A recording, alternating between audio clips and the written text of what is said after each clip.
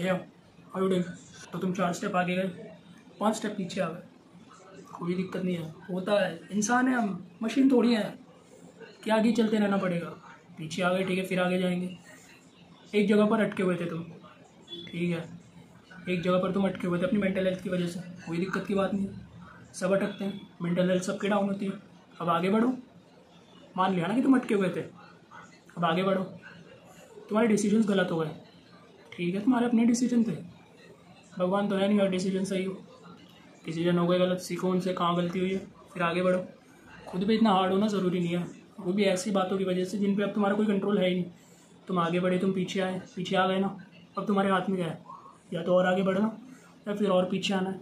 तो आगे बढ़ो ना, सोचना क्या उसके बारे में? आगे बढ़ने के बारे में सोचो। एक जगह पर अटके हुए थे मेंटल हेल्थ की वजह से। ठीक है, आगे मेंटल हेल्थ डाउन अब खुद को स्ट्रॉन्ग बनाओ। अब अपनी मेंटल हेल्थ पे काम करो, फिर आगे बढ़ो। अभी से डिसीज़न ले सकते हो ना तुम? जब जागो तब सवेरा। इन सब चीज़ों के लिए खुद पे हार्ड मत हो। अगर खुद पे हार्ड होना ही डिसिप्लिन के लिए हो, तुमने सोचा है कि तुम्हें ये काम करना है और तुम वो नहीं कर रहे तो खुद पे हार्ड हो।